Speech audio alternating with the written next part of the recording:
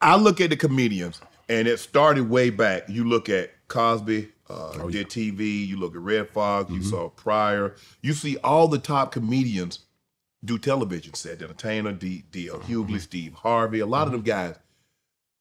What is it? Do you think your weight held you back? I think so. I, and that's a very good. I think so because people think you can't do it. Yeah, but you have to. We have to prove ourselves. Right. Got to prove ourselves. It's like it's like black people. We have to be overqualified Right. to do a job. To get the marginal job. Right. And I think it have, and I think people are scared. Now, oh, I hope you don't fall out on stage. But what about the skinny people falling out on stage? Right. You know what I'm saying? But um, I'm gonna create my own, Right. and I'm gonna make it my own. Right. Because I saw you. I mean, you've been you've been uh, the Wash Oh, with, with, with with Snoop Dogg and Dr. Dre. And when I did that movie, let me tell you, I was so scared I didn't know what to do. That was my first movie.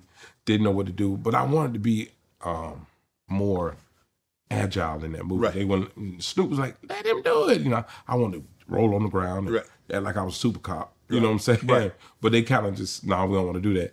But Snoop and Dre was like, "Let him Right. do it, man. Let Right. it be him." Right. But I was very nervous when I did that movie, and if I ever get a chance to do it again, I'm gonna rip it. I'm gonna rip it.